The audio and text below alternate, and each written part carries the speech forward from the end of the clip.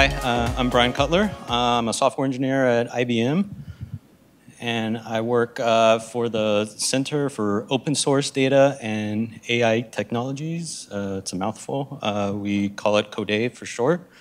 Um, it was previously called the Spark Technology Center, but since then we've expanded to include more AI-driven endeavors. Um, we're just kind of down the street on Howard. Uh, a little bit about me. Uh, I mainly focus on open source development there. I'm a committer for Apache Arrow and for Apache Spark. And I have a focus on Python and machine learning and working on optimizations and improving the overall experience for users. Uh, feel free to hit me up at GitHub. Uh, there's my uh, username. Uh, so today I just want to go over a little bit about how uh, some work I was involved in in integrating Apache Arrow with Spark. Um, there are other people involved too. Uh, so I'll go over some of those details and talk a little bit about kind of problems we were trying to solve in Spark and how Arrow really was a, a big help in what it could provide to solve these problems. And I'll go over some specifics about where in Spark it's being used now and finally talk about some current and future developments. So in Spark, we started hearing a lot of people complain about uh, their Python code running so slow. Um, and uh, this is dealing largely with the Spark Data Frame API, which is pretty much a wrapper around uh, Java implementation of everything. So uh, when this came out uh, in Spark 2.0, uh, the data processing was very fast as long as the user would keep the data in the JVM. Um, but as soon as they needed to go outside to a Python process, uh, it would just be a huge bottleneck and things would slow down to a crawl. So, um, you know, a lot of people didn't understand why uh, performance was so different than uh, running the same kind of UDFs in Scala. Um, but there's a couple reasons for this big bottleneck. Uh, one, when trying to transfer data to Python, uh, Spark would use the pickle format, which uh, is not known to be terribly uh, efficient and uh, is kind of a, a, bulky serialization format. Uh, and furthermore, it, it forced Spark to iterate over each scalar value to serialize each individual value. Um, and this kind of led to uh, a lot of loops when Spark needs to serialize and deserialize and then process all this data. And uh, anybody that uses uh, NumPy and Pandas know that uh, you want to avoid that because it's bad.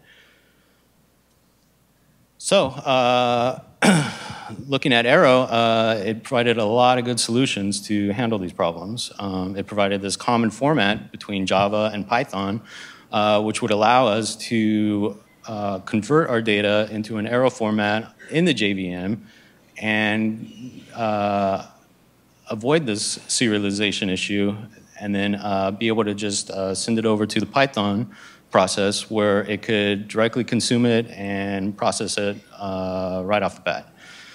Uh, Arrow also provided uh, IPC mechanisms to uh, allow for reading and writing over sockets, which uh, how Spark transfers data already. So that was uh, uh, great. And um, it pretty much supported all the major types that Spark would need to be able to work with in Python.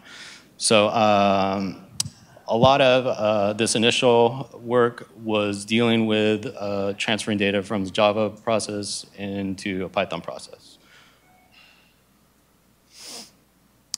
Okay, I'll go over um, just a few areas where uh, this was integrated in. Um, uh, the, the first place we uh, used Arrow was in doing a toPandas conversion. So if you're given a Spark data frame, uh, you want to collect that to your driver side application, um, uh, which, which, basically brings all the data uh, over to Python. Um, and this started off as being very inefficient because uh, it, it uh, initially does a complete collect of all the data uh, in this pickle format, uh, which produces uh, individual records. It builds all these records up into a huge list in Python, and uh, then through a very inefficient way creates this pandas data frame from these records. So uh, one thing Arrow helped out with this is because we could convert the data on the Spark executor side, uh, which would allow us to uh, do this in parallel. And then when it came to collect all that data, we just brought in a whole bunch of Arrow batches into the driver application, and we could combine them together, and Arrow supported already converting this into a pandas uh, data frame. So this uh, was introduced in Spark 2.3. Um, it's not enabled by default, so this is one optimization that if you want to use, you have to be sure to include this configuration that I have here. So once that was uh, introduced, uh, it gave a pretty good speed up uh, for uh, collecting to a pandas data frame. And uh, Another area that's kind of related uh, goes in the opposite direction. Given a pandas data frame, you want to create a Spark data frame from this. And this is also very well suited for uh, arrow format. Previously, this was a major slowdown and wasn't useful in Spark at all because in order to, uh, even just a small amount of data would uh, run very slowly, so it's almost useless to try to send this to Spark. But with the addition of Arrow, you can create a huge data frame and be able to very efficiently send it to Spark and uh, carry on with your Spark processing and everything.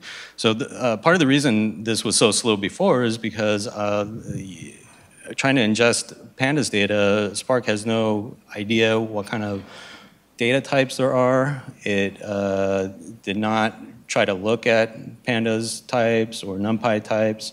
So it treated everything as a Python object. And even if you try to specify a schema, it still needed to loop through all the data, do verification checks, run through uh, uh, some cleansing to produce clean uh, data for Java, then clean data for uh, uh, Spark uh, to, to make sure everything was in a format that Spark could easily accept.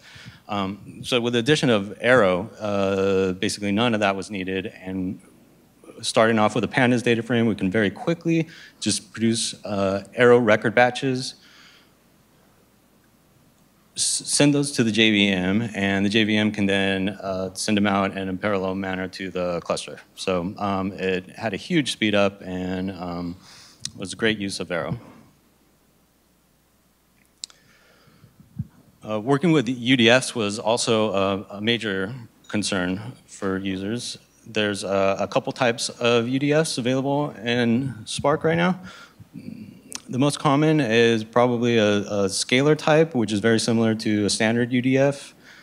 And all, the, all these vectorized UDFs, or also known as pandas UDFs, uh, interoperate with, with pandas data, so of various types. So depending on what kind of uh, UDF you create, you might have a, a, slightly different types of inputs. So for a scalar pandas UDF, it can take columns that will uh, produce input that are pandas series, and you're going to want to output a pandas series from that.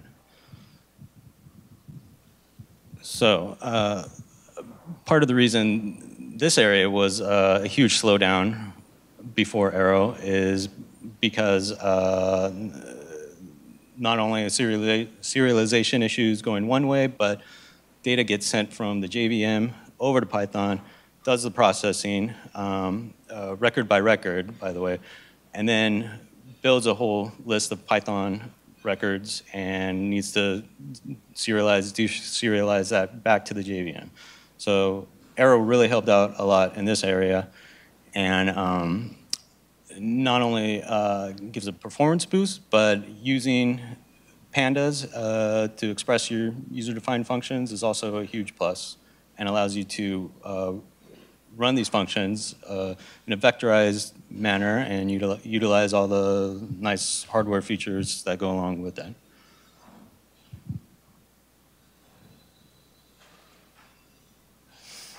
Uh, a second type of UDF is called a grouped map type. Um, this was introduced by uh, Li Jin at Two Sigma, and it's a super useful addition. Um, here's a, a, little example of, of, how it's used. Um,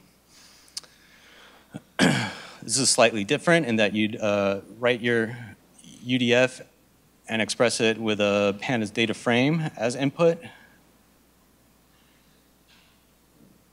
and uh, your output would also be a pandas data frame. So what's useful about this is you can take your Spark SQL data and do an efficient group by on some kind of column, and uh, all that will be done uh, very quickly by the Spark internals on the JVM. And then it will transfer these groups in batches uh, over to Python using Arrow. So uh, each batch that you process will be a complete group ID, uh, and you'll be able to process your data as one complete pandas frame. And, and, and this is really, uh, really nice for pandas users that are familiar already with these kind of uh, group by apply um, schematics. Uh, one caveat, though, is that uh, you do need to be wary of maybe how your groups are skewed because it will collect all groups into one batch and that will need to fit in memory. Uh,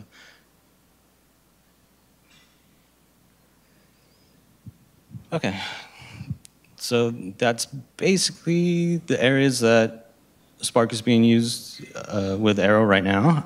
Currently, I'm uh, have some ongoing work of trying to use uh, the Arrow stream format to work with uh, the toPandas collection and creating a data frame from pandas.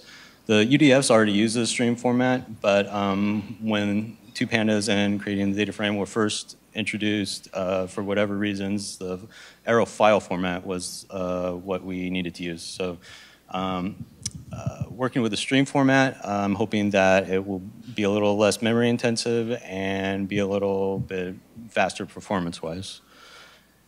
Uh, also, Jin of Two Sigma is working on adding uh, windowed UDFs that use uh, the same kind of mechanism but allow you to specify different windows in Spark SQL and again process data using pandas on uh, various windows. Um, I'd also like to see uh, Spark add the ability to uh, externalize this arrow data. Uh, I mean, right now it's just being used to hand off data from Java to Python, vice versa, but um, uh, I, I, think you know it would be a, a great uh, a great way to interact Spark with other uh, systems to be able to externalize arrow data explicitly. So that's about all I have. Uh, thanks a lot. And um, just to plug something, we are hiring at IBM. So if you're uh, interested in this kind of work and uh, uh want to be involved with any kind of machine learning AI focus, uh, we'd love to uh, hear from you.